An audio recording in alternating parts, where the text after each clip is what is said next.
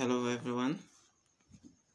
Okay let's provide the solution to this um, beautiful olympiad mathematics. We have 4 root 4 to the power of x equal to 16 okay as it is equal to 32 rather. As it is you may not be able to imagine the value of x but I want us to see the full working to this um, problem. Now do you know that this is the same thing as 4 multiplied by square root of 4 is what? 2 right? So you have 2 over here. Then the whole of this will be raised to the power of x and it is equal to 32 okay?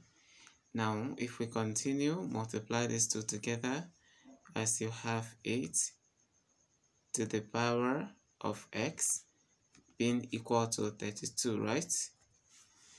Okay now you may think of introducing um, introducing log to this but then there's no need for that because we can express this and this in the same base remember 8 is 2 to the power of 3 okay so the power of x will still come. And 32 is 2 to the power of 5 so this power I mean these powers can multiply each other. So we have 2 to the power of 3x being equal to 2 to the power of 5 now what do I do since the powers, since the bases are the same, we work with the powers, meaning that 3x will simply be equal to 4. And from here, you divide by 3, divide by 3.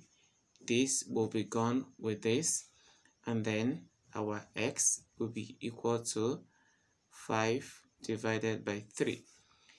And in my head, I'm thinking, if I fix this back into the equation, will it give me the, um, the value on the right hand side? Okay, the equation is 4 square root of 4 to the power of x equal to 32, right? So if I put in 5 over 3 to the into the equation, will I get 32? Let's give it a try. 4 square root of 4 to the power of 5 over 3. Now let's see what we're going to do. Remember this is the same as 4 multiplied by 2 to the power of 5 over 3. And then we say this is going to be 8 to the power of um, 5 over 3, right? This is what we have. And from here, we can say 2 to the power of 3 because 8 is 2 to the power of 3 we have 5 over 3 as the power there as well. Now the powers can cancel and this implies that we have 2 to the power of 5 and 2 to the power of 5 is giving us 32 because we have um, 2 to multiply by itself in 5 places. Remember we had 32 on the right hand side and this is to confirm that our x to be equal to 5 over 3 is very correct as it satisfies the equation.